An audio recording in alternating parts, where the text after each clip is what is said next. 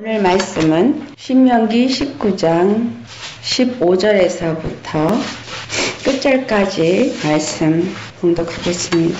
신명기 19장 15절에서 끝절까지 다 같이 봉독하겠습니다. 사람의 모든 악에 관하여 또한 모든 죄에 관하여는 한 증인으로만 정할 것이 아니요 두 증인의 입으로나 또는 세 증인의 입으로 그 사건을 확증할 것이며 만일 위증하는 자가 있어 어떤 사람이 악을 행하였다고 말하면 그 논쟁하는 쌍방이 같이 하나님 앞에 나아가 그 당시에 제사 제사장과 재판장 앞에 설 것이요 재판장은 자세히 조사하여 그 증인이 거짓 증거하여 그 형제를 거짓으로 모함한 것이 판명되면 그가 그의 형제에게 행하려고 꾀한 그대로 그에게 행하여 너희 중에서 악을 지하라 그리하면 그 남은 자들이 듣고 두려워하여 다시는 그런 악을 너희 중에 행하지 아니하리라. 내 눈이 긍휼히 여기지 말라. 생명에는 생명으로, 눈에는 눈으로, 이에는 이로, 손에는 손으로, 발에는 발로이니라. 아멘. 자, 신명기 19장 말씀을 시작할 때에 도피성에 대한 이야기가 있었어요. 도피성을 세우게 하시는 하나님의 뜻은 죄인 중에 내가 의도적으로 죄를 지은 자냐, 의도적이지 않은 가운데 죄를 지은 자냐, 이 두 가지의 이야기를 했습니다. 그래서 의도적이지 않은 죄를 지은 자는 반드시 살아날 수 있는, 피할 수 있는 성을 허락하셨다. 근데 그것이 바로 우리 주 예수 그리스도가 되신다. 우리 주 예수 그리스도가 도피성이 되어지는 이유는 우리가 세상 가운데 있어서 죄의 종이 되어짐으로 인해서 사단이 그 죄와 사망의 법으로 우리를 죽이려고 한다라는 거죠. 어떤 죄를 가지고 계속해서 죄의식을 줌으로써 우리로 하여금 죽을 수밖에 없는 자인 것을 계속해서 느끼게 하도록 허락하신 것은 하나님은 우리를 죽이기 위해서가 아니라 그 죄를 깨달음으로써 살리고자 하신다라는 의미예요. 도피성을 세우신 하나님의 그 뜻은 바로 율법을 주신 것과 같은 의미를 준다는 거예요. 도피성을 준비를 해놓으시고 이제 그 도피성이 있다라는 것을 알지만 우리 스스로가 도피성을 향해서 도망을 가야 되는 거죠. 만약에 내 생각으로 그 도피성으로 가지 않고 다른 곳에 간다면 죽을 수밖에 없다라는 거예요. 그러니 하나님의 사랑은 우리에게 너는 저기 가면 살아 라는 거를 줄 수 있어야 되잖아요. 너는 저 도피성에 가면 살아라고 줄 수 있고 우리에게 그 도피성을 가르쳐주는 direction이 바로 율법이라는 거예요. 그 율법은 우리로 하여금 정말 죄를 깨닫고 그리고 그 죄에서부터 우리가 살아날 수 있는 죄의 값은 사망이라고 한그 사망에서 살아날 수 있는 길을 제시하는 게 율법이에요. 그래서 율법은 부담스러운 법이 아니에요. 어떻게 보면 율법은 우리의 육체를 가지고 끊임없이 너는 이런 죄를 졌어 저런 죄를 졌어 우리가 육체에 있는 동안에 죄를 지은 것 때문에 그 죄를 지은 거를 우리를 질책하는 게 율법의 용무예요. 하지만 그 죄를 깨달아야 나를 그 죄에서 건져줄 구원의 하나님을 찾을 수 있으니까. 네. 그래서 율법이라는 걸 주실 때 언제 주었느냐라는 거예요. 처음부터 주지 않았어요. 아브라함을 부르실 때 율법을 주지 않았어요. 세상에 악이 점점 점점 더해갈 때. 이제 죄를 알게 함으로 하나님이 누구신가를 가르쳐 주기 위해서 주신 법이 율법이라는 거예요. 네. 하나님은 바로 너희를 죄에서 건져주시는 사랑의 하나님, 구원의 하나님이다 라는 거예요. 그런데 이 율법을 가지고 무슨 일을 하냐면 정죄하는 일을 하는 거예요. 판단하는 일을 하는 거예요. 교회를 조금만 다녀서 뭐를 조금만 알면 우리가 너무나 쉽게 판단해요. 근데 율법을 가져도 판단해요. 갖지 않은 자도 판단해요. 그 판단이 어디서부터 나왔다고요? 로마서 2장 14절을 보면 그 양심이 율법이 된다. 예수님을 알지 못할 때도 사람들은 다 이 죄의식이 있어요. 죄를 지면 이 죄의식이 내가 이거는 하면 안 되는데 했다라는 걸 알아요. 그런데 하면 안 되는 걸 알면서도 그 일을 하게 하는 건 내 안에 있는 바로 그 죄의 영인 사단이 그 일을 하게 하는 거죠. 그런데 그것을 예수님이 오셔서 뭐라고 얘기를 해요? 율법으로는 어떤 행위에 나타나는 것을 가지고 너는 이것을 줬어 저것을 줬어 다 얘기를 해요. 그래서 가늠한 여인을 데리고 와서 예수님 앞에 놓고 어디 너 보자. 네가 구원주라고 네가 메시아라고 정말 메시아에서 이 여인을 살리나 보자. 이 여인은 율법에 의해서 죽을 수밖에 없는 여인인데 그리고 그 가늠한 여인을 데려온 거예요. 똑같은 이야기예요. 우리가 하나님 앞에 정말 재판하시는 이는 한 분 하나님 뿐이에요. 선악 간에 판단하시는 분은 하나님 한 분이라는 거죠. 그 하나님 한 분 앞에 나오는 것처럼 그 가늠한 여인도 그 앞에 나온 거예요. 예수님 앞에 나온 거죠. 그런데 두세 사람의 증인이 다 왔어요. 그렇죠. 끌고 왔어. 이 여자가 와서 현장에서 잡혔으니까. 오늘 이 말씀에 너희가 이 죄인을 죄로 정하려면 두세 사람이 증인을 데리고 오라. 그래서 그 여인은 두세 사람의 증인에 의해서 온 거예요. 왔는데 정말 공의로서 판단하시는 하나님이 그 여인을 판단하신 판단은 무엇이었느냐? 율법의 정확한 뜻을 보여줬어요. 율법은 죄를 정죄해서 사망으로 이끌려는 게 율법이 아니라 죄를 깨닫고 구원의 예수님께로 인도하고 하나님의 구원을 알고 그리고 구원의 하나님을 섬기는 온전히 하나님만을 바라보는 자로 만들기 위해서 주어진 것이다. 그런 의도에서 이 율법 앞에 정죄받고 그리고 나온 이 여인은 예수님 앞에 나왔을 때 예수님이 땅에다가 뭐라고 썼어요. 뭐라고 쓰고 나서 하신 말 중에 너희들이 죄 없는 자는 이 여자를 돌로 치라. 현장에서 잡혀와서 두세 사람의 증인이 있어요. 그래서 죽을 수밖에 없어요. 그런데 이 죽을 여인에게 예수님은 너희가 죄가 없는 자는 돌로 치라. 라고 말을 하는데 그러고 하신 말씀이 마음으로 가늠을 해도 가늠한 것이 마음으로 형제를 미워해도 살인하는 죄요. 다 지적을 해줘요. 해가 어떤 범죄를 했을 때 그 범죄를 죄를 정하고 죽이려고 하는 그 상황 속에서 주님은 육체로 나타나는 어떤 행위적인 자범죄보다 더 죄가 되어지는 건 너희 마음 속에 있는 죄악이라는 걸 가르쳐 줍니다.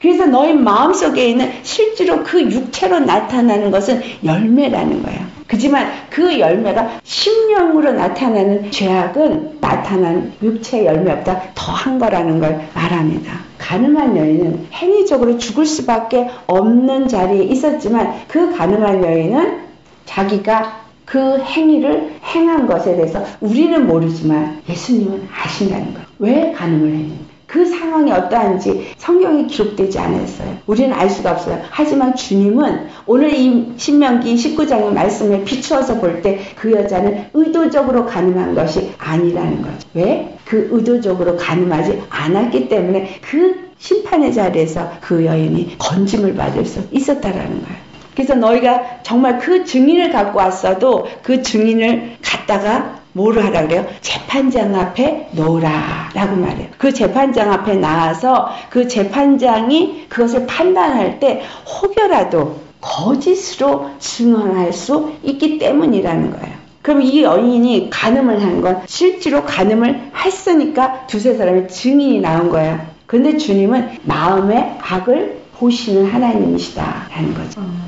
내가 마치 의인처럼 나는 가늠하지 않는 것처럼 그들을 정죄할 수 있다라고 생각해서 데려왔지만 하나님의 판단과 하나님의 재판은 바로 십자가의 공의의 판단이다라는 거예요. 십자가의 공의의 판단을 우리가 이미 알고 있죠? 십자가의 공의의 판단은 어떤 판단이에요? 내가 너의 죄와 허물을 기억하지 않겠다라는 판단이에요. 그로 인해서 내가 너의 죄와 허물을 기억하지 아니하겠다는 그 구원의 하나님, 그 이름을 위해서 그 일을 하시는데 그 구원의 하나님의 이름 앞에 겸비한 심령으로 나와서 그 하나님을 바라보는 그러한 자가 되어야 그 도피성으로 가고 그 도피성이 되어질 수 있는데 거짓 증언을 하는 사람들은 어떤 사람이에요?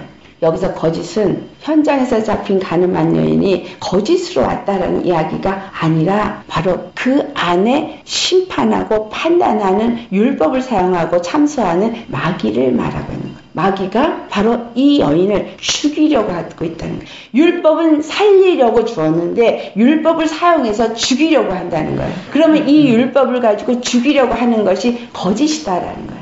요한복음 8장 44절에 거짓의 압이라고 말해요. 그는 처음부터 거짓말한 자란 말이에요. 그 처음부터 거짓말한 장소가 창세기 3장이에요. 선악과 앞에 있는 하와에게 하나님이 이거를 먹지 말라 하잖냐? 그 말씀을 너는 이거 먹어도 죽지 않아. 네가 하나님과 같이 될까봐 먹지 말라고 한 것이야. 그래서 먹음직하고 포함직하고 지혜롭게 하려면 탐스러워서 그것을 먹었는데 그 먹은 것에 대해서 뭐라고 얘기를 하나 우리 한번 창세기 3장을 찾아가 보시겠어요. 창세기 3장 13절 말씀. 여호와 하나님께서 이제 하와에게 묻습니다. 우리 같이 공독합니다. 여호와 하나님이 여자에게 이르시되 내가 어찌하여 이렇게 하였느냐 여자가 이르되 뱀이 나를 꿰므로 내가 먹었나이다. 자, 이 말씀은 하와가 뱀의 꼬임을 받아서 먹은 것. 자기가 그것을 먹고자 해서 의도적으로 하나님이 되고자 하나님의 자리에 앉고자 한 것이 아니라는 거죠. 그 이야기는 사단은 하나님의 자리에 앉고자 한 반역자죠.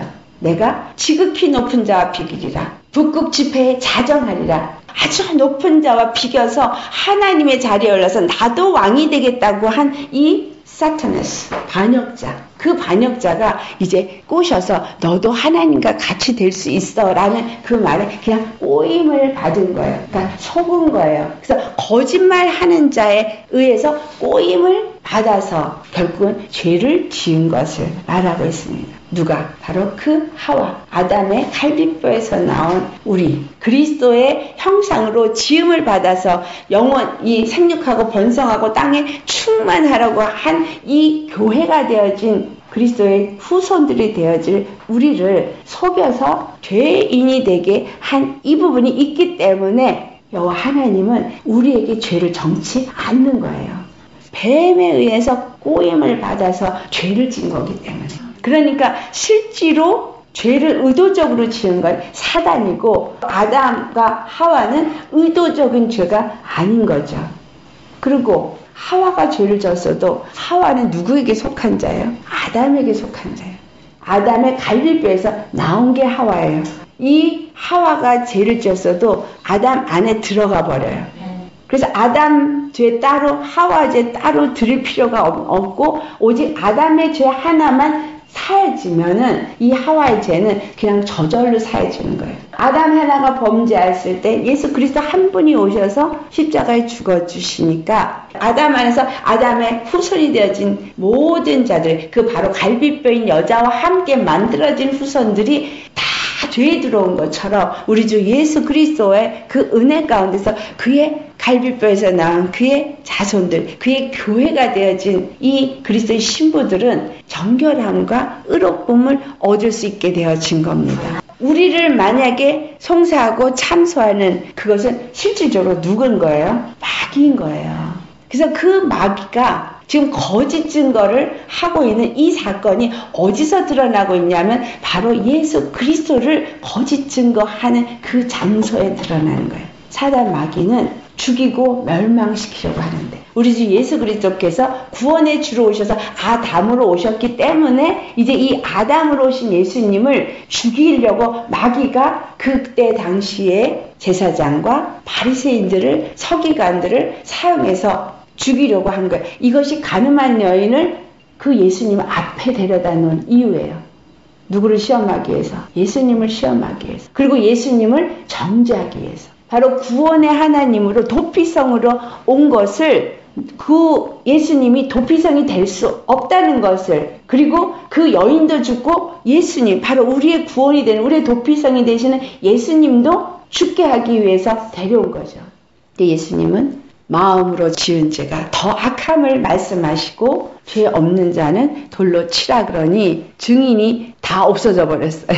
두세 사람 증인이 왔는데 그 두세 사람 증인이 다 사라져 버렸어요. 그러니 이 여자를 정죄할 사람이 없어진 거예요. 할렐루야. 아멘. 그것이 바로 도피성으로 도망하는 거예요. 재판장 앞에 갖다 놨을 때 이 재판장 앞에 나오면 진정한 공의의 재판에 의해서 재판이 열려지고 그리고 이 사람이 죽을 죄를 졌느냐 아니냐가 판명이 되어지는데 죽을 죄를 졌다라고 증거할 두세 사람의 증인이 다 없어져 버린 거야. 무슨 말이에요? 이 땅에 있는 사람은 아담 안에서 다 죄인이기 때문에 누구를 정죄하고 판단할 능력이 없다라는 거예요. 그 대신에 우리 집 예수 그리스도가 바로 죄 없는 자인 걸 증거할 자는 너무나 많아요. 예수님이 십자가에 죽으시고 부활하시면서 그 죄가 없으신 하나님이 되심을 증거하셨어요. 또 그 은혜를 입은 자들이, 그 많은 증인들이, 우리 전에 살았던 선지들이 다 증인인 거예요. 죄인이 아님을 증거하고. 또 거기다가 더 하나, 누가 예수를 증거한다 그래요? 아버지가 나를 증거하고 나도 나를 증거하는데 하나 더 얘기를 해서 성령도 나를 증거한다. 그래서 그 증거가 물과 피와 성령의 증거라고 말해요. 무슨 말이냐? 성령님이 오셔서 예수님이 부활하심을 증거하고 있어요. 우리 안에 들어오셔서. 할렐루야. 예수님을 증거한다. 성령이 너희에게 내가 몇 마리 못 되어서 성령을 보내시면 그 보혜사 성령이 나를 증거할 것이라고 하는데 그 증거가 무엇이냐면 우리 심령 속에 오셔서 그리스도가 바로 우리의 메시아, 우리의 도피성, 우리의 그리스도이심을 증거하는 거예요. 죽음 가운데 있지 아니고 다시 사신 분임을 증거함으로 우리로 믿게 하는 거예요. 더 이상 정죄가 없음을, 더 이상 사망 권세가 우리를 지배할 수 없음을 증거하는 거예요. 그러니까 우리를 죽일 증인이 없어진 거예요. 이해가 되시나요? 예수 그리스도께서 도피성이 되어 우리의 재판장으로 앉으셔서 우리로 하여금 죄사함을 받을 수 있는 그 증거를 제시를 했는데 보니 삼위의 하나님이 그 증인이더라. 두세 사람의 증인은 그 삼위의 하나님이 내가 죄가 없음을 증거하는 자야. 그런데 세상에서 나를 죄라고 증거할 자가 하나도 없는 거야. 다 똑같이 다 죄인이니까. 다만 세 사람의 증인이 누가 죄인인 걸 증거해요? 사탄이 죄인임을 증거해요. 의도적으로 죄를 지은 바로 속이는 자인 것을 증거하십니다.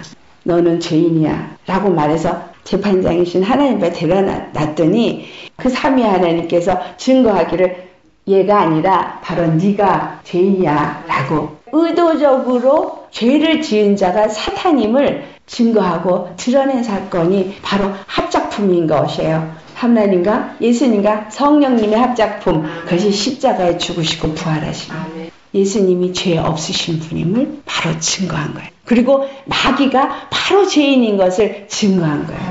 이 두세 사람의 증인이 갖고 있는 의미를 우리가 잘 알아야 돼요. 어떻게 하는지 그래가지고 옆에 있는 사람한테 꼭 얘기를 해요. 맞아, 맞아, 맞아, 맞아. 죄인이야, 죄인이야. 근데 그게 다 사단에게 꼬임을 받은 거예요. 두세 사람의 증인들이 죄를 행할 때 19절 말씀을 보니 그가 그의 형제에게 행하려고 꾀한 그대로 그에게 행하여 너희 중에서 악을 제하라. 재판장이 자세히 조사하여 보니 다시 말하면 율법을 가지고 자세히 조사하여 보니 실제로 그 율법을 가지고 참소한 건 마귀요. 그 마귀에게 게임을 받아서 죄를 지었으니 짐짓 죄를 지은 것이 얘네는 아니고 의도적으로 지은 건 마귀더라. 재판장이 자세히 살펴보는 게 어디예요? 십자가. 자세히 살펴보니.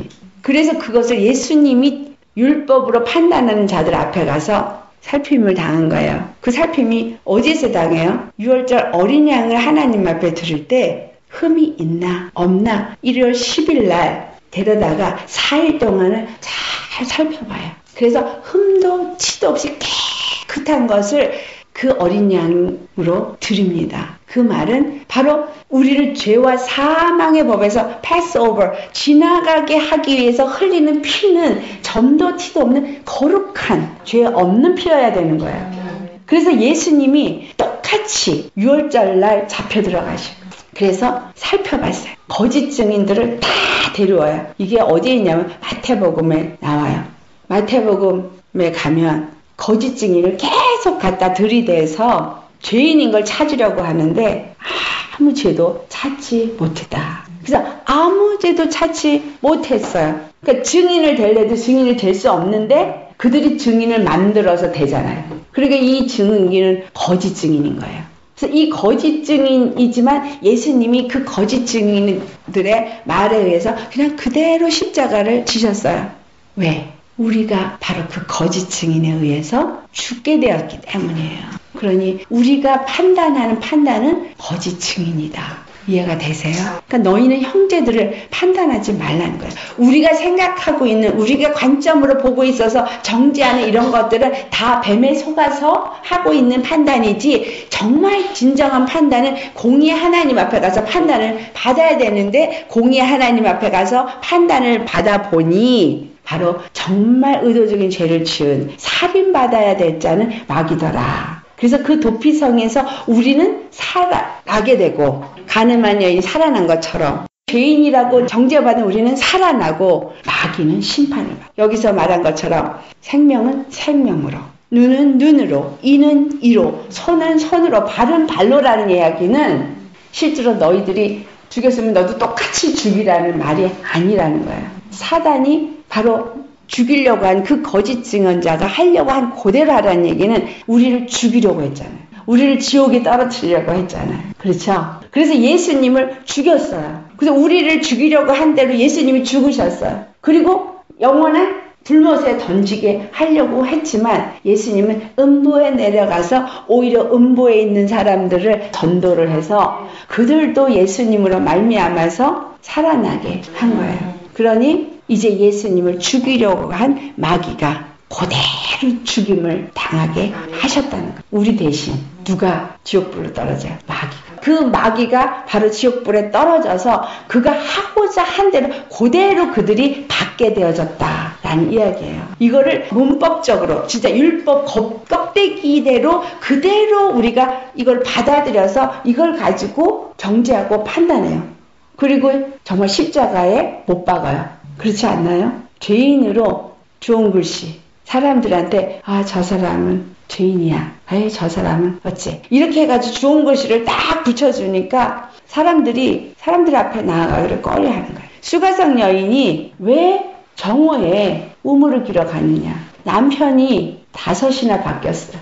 그러니까 사람들에게 에이 그 남편이 다섯이나 바뀌었어. 그렇기 때문에 그 사람들을 피해서 사람들이 가지 않는 간에 나간 거야. 사람들을 피해서. 근데 예수님은 바로 그런 자를 만나기 위해서 그 우물가에 가서 계시더라는 거예요. 그 여인을 바로 그 죄의식에서 바로 그 수치감에서 사람들의 조롱에서 건지기 위해서 그 우물가에 가 있었다는 거예요. 그 여인 하나를 만나기 위해서 그 여인 하나를 구원하기 위해서 누가 나를 아이 저 사람 아픈 사람이야 좋은 것이 신경 쓰지 마세요. 사람들은 그렇게 말하지만 그 수가선 여인은 예수님을 만나고 나니까 그 피했던 동네 사람들한테 뛰어가서 와 보라 예수님을 증거하는 사람이 돼요. 부끄러움도 많고 나는 부족하고 나는 저 사람들보다 못해 나는 저 사람들 만나기가 저 사람들은 나를 싫어해 저 사람들은 나를 미워해 나는 저 사람들 앞에 나아갈 자격이 없어라고 뒤로 뒤로 움치고 들어가고 정말 숨어버리는 여인이 바로 수가성 여인이에요. 바로 이 가늠한 여인과 같은 거예요. 그래서 사람들은 그 여인을 끌고 온 사람들처럼 막 그 여인을 죄를 정죄하지만 예수님은 너희들 똑같은 자야 라고 가르쳐 주고 있는 거예요. 너희는 똑같은 자니까 절대 그 일 하지 못한다는 걸 가르쳐 주고 실질적으로 너희도 이 여인도 다 속아서 사단에게 속아서 이와 같은 일을 한 것이기 때문에 하나님이 정죄하고 그 죄값을 갚는 분은 누구한테 갚아요? 사단에게 갚으더라는 거예요. 그래서 나는 당당해야 돼요. 나는 예수님 안에서 수가성 여인이 정말 그 만나니 이 기쁨이 넘쳐나니까 그리스도를 만나고 나니까 당당해져야 돼요. 내가 예수 믿고 그리스도를 만나는데 왜 움츠러들어요? 절대 그럴 필요가 없는 거예요. 육으로 보는 내 연약함, 내 부족함, 정말 다른 사람과 비교할 때 너무나 초라한 나 비교하지 마세요. 이 비교는 누가 하는 거예요? 사단이야. 죄의식 없어요. 이전 것은 지나갔으니 보라 새롭게 되었도다. 나는 이전의 죄인이 아니요. 이전의 육에 험많은 자가 아니에요. 우리한테서 율법은 가진 이 세상 사람들은 허물 찾으려고 노력하지만 예수님은 나는 너의 죄와 허물을 기억하지도 않겠다고 했기 때문에 나는 죄 없는 자야. 예수님 안에서. 은혜를 받은 자이기 때문에 난 죄 없는 자야. 당당하고 떳떳해야 돼요. 사단이 나를 너 이런 일 했잖아. 저런 일 했잖아. 그럴 때 예수님이 나는 예수님 안에서 깨끗함을 받은 자야. 선포를 해버려. 나는 예수님 안에서 치유를 받은 자야. 근데 이게 그냥 입의 말이 아니라 정말 여기서 믿음이 되어져야 돼요. 나는 건짐을 만진 자예요. 분명히 말씀하고 있습니다. 흑암의 권세에서 너희를 건져내서 하나님의 사랑의 아들의 나라로 옮기셨다라고. 분명히 주님은 나를 그리스도 예수 안에서 하늘에 앉혔다고. 믿음은 바로 이것을 누리는 권세예요. 믿음은 그렇기 때문에 예수 그리스도 안에 살아야 되는 거고 그 의로 살아야 되는 거예요. 그렇기 때문에 사도 바울이 로마서 6장 13절 너희가 죄에게 속아서 죄의 종이 되지 말. 너희 자신을 죄에게 들여 죄의 종이 되지 말라고 말하는 거야. 의에게 들여 의의 종이 되라는 거야. 죄와 싸우되 피 흘리기 싸워야 되는 거야. 그냥 죄는 나하고 상관없는 거로 완전히 던져버려야 돼. 그럼 죄를 인식도 하지 말아야 되는 거야. 그것이 바로 너는 만지지도 말고 보지도 말고 맛보지도 말라는 얘기예요. 이 세상의 악은 우리가 보지도 말아야 돼. 이 세상의 죄는 만져보지도 말아야 돼. 근처에 가지도 말아야 돼. 그러니까 의 안에서 계속 믿음으로 가야 되는 거예요. 이 말씀이 갈라디아서 2장 20절의 말씀이에요. 내가 이제는 그리스도와 함께 십자가에 못 박힌 거예요. 그래서 의 안에서 사는 게 믿음 안에서 사는 거예요. 그러면 누구도 나를 정죄할 수 없어요. 누구도 나를 끌어내릴 수가 없는 거예요. 죄값을 요구할 수 없어요. 그래서 나 스스로도 나를 질책하거나 책망할 수 없습니다. 왜냐하면 나는 새 것이 되었고 나는 예수님의 성전 그리스도의 거룩한 것이 되었거든요. 내 안에 하나님이 거하시거든. 그러니까 내가 함부로 나한테 굴면 안 돼요. 옆에 사람들한테 함부로 나한테 대하지 마세요. 나는 정기한 자예요. 나는 정기한 자예요. 거룩한 하나님이 내 안에 계십니다. 거룩한 하나님이 내 안에 계십니다. 나를 함부로 대하지 마세요. 마세요. 정말 이게 믿음이에요. 주님이 이걸 누리게 하기 위해서 십자가에 죽으셨어요. 마귀는 그가 우리를 죽이려고 하고 우리를 명랑시키려고 하는 그 거짓 증언 한 데는 그대로 네가 하려 그러는 거 그대로 네가 받아. 그래서 우리를 죽이려고 한 마귀가 그대로 죽게 된 거예요. 우리를 영원한 사망에 빠뜨리려고 한 마귀가 그대로 영원한 사망에 빠지게 된 거예요. 그리고 우리는 건져내셨어. 할렐루야. 감사하죠. 너무 감사해요. 그렇기 때문에 내가 비록 이전에 어떤 죄의 허물 때문에 오늘 내가 그걸 당하고 있다 할지라도 이제는 벗어버립니다. 죄의 옷은 벗어버리고 주님 우리에게 새 옷을 입혀주셔요. 가죽 옷, 의의 옷을 입혀주시죠. 정말 예수님 안에서만 살아야 되는 이유, 예수님 십자가 밖에는 없어야 되는 그 이유, 이제 아시겠죠? 그 안에서만 살고 그것만이 있으면 다 되는 건 거예요. 당신이 어렵지 않죠? 아멘. 그래서 아 죄가 딱 올라오면 아 죄는 나하고 상관없어. 나는 이거를 쳐다보지도 말고 만지지도 말고 맛보지도 말아야 돼. 주님이 너무나 큰 걸 이루셨어요. 우리가 예수님의 십자가의 은혜를 너무나 큰 은혜와 사랑으로 모르고 있어요. 너무나 엄청난 건데 이 엄청난 걸 알고 그걸 누리면 세상에 어떻게 이럴 수가 있나? 죄가 올라오고 깨달아질수록 내가 이거를 외면하지만 그래도 또 올라오고 이런 나를 사랑해서 이와 같은 천국을 준비를 하셨다니. 그리고 나를 그 기업이라고 말씀하신다니. 거룩한 기업이래요. 그리고 나를 성전 삼아서 내 안에 들어오셔서 나와 함께 사시겠대. 그 거룩한 하나님이 그 창조의 하나님이 나와 함께 사시고 나와 함께 먹고 나와 함께 대화하고 나와 함께 일하시겠대요. 그리고 그 영광을 나에게서 나타내시겠대요. 아멘. 내가 그 영광을 나타내는 게 아니라 그분이 내 안에 들어와서 그 영광이 내 안에 해처럼 떠오르게 하니까 그 해가 찬란하게 빛나게 하시니까 그 영광이 나를 덮으니 우리 얼굴이 해처럼 빛나더라. 어떠한 스스로 책망하는 것도 없어야 돼요. 아이고 내가 지난 40년 동안 이렇게 잘못해서 이것도 이제 하지 말고 이제부터는 예 내가 이제 주님이 나를 새롭게 했으니 나는 이제 새로운 자다 새로운 피조물이다. 예수님 내 안에서 그 주님이 함께 하시옵소서.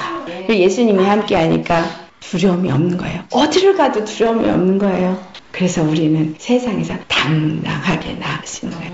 이스라엘이 가나안 땅에 들어가서 너희가 그 땅을 정복할 것. 그러면 그 땅을 정복하면 거기다 도피성을 세우라. 네가 정말로 예수 그리스도 안에서 정말 하나님의 땅이 되어지면 그 땅에 도피성을 세우라는 이야기는 안식을 누려라요. 도피성이 내 안에 들어왔으니 예수님이 내 안에 들어왔으니 나는 안식을 누리는 거예요. 천국 안에 거하는 거예요.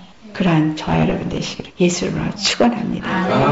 할렐루야. 나도 나를 정죄하지 않아. 다른 사람도 정죄하지. 않아. 다른 사람도 나를 정죄할 수 없는 상태가 신령한 그리스도인의 상태예요. 세상을 다 알고 판단할 수 있지만 절대로 나는 다른 사람에게 판단을 받지 않는 사람이 신령한 사람인데 다른 사람이 손가락질을 하고 뭐라고 말해도 성령이 내 안에 있으니 나는 정말 당당하니까 절대 판단 안 받는 거예요. 오히려 그들이 판단을 받아. 바로 가늠하다 예수님 앞에 나온 여인과 똑같은 상황이 되어지는 거예요. 그 여인은 살아나잖아. 그리고 예수님이 하신 말씀이 다시는 죄를 지지 말라. 그러니 우리는 이제 다시는 죄와 가까이 하지 아니하고 그리고 주신 은혜를 누리면 되는 거예요. 자유함을 누리는 거 되는 거예요. 율법 앞에서 그 여인은 자유함을 얻었어요. 정죄하는 자들 앞에서 그 여인은 자유함을 얻었습니다. 우리는 자유함을 얻어요. 아멘. 아멘. 정말 이렇게 좋으신 하나님. 이렇게 우리에게 주신 은혜가 크답니다. 아멘. 우리 다 같이 이 은혜를 생각하면서 정말 여러분이 그동안 조금이라도 내 안에 어떤 정죄감이 있었고 그리고 판단하는 그러한 죄와 어, 그러한 상황에 있었다면 혼자가를 떠나서 아 내가 뭔가 좀 다른 사람에 비해서 잘한 것 같고 나은 것 같고 조금이라도 높아진 것이 있다면 아 내가 속았었구나.